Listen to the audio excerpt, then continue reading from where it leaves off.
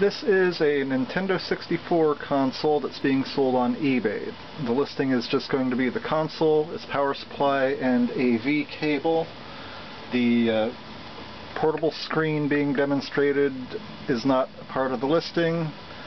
Neither is the controller being used or the game to demo the system with. However, the game is going to be put up for sale in its own separate listing.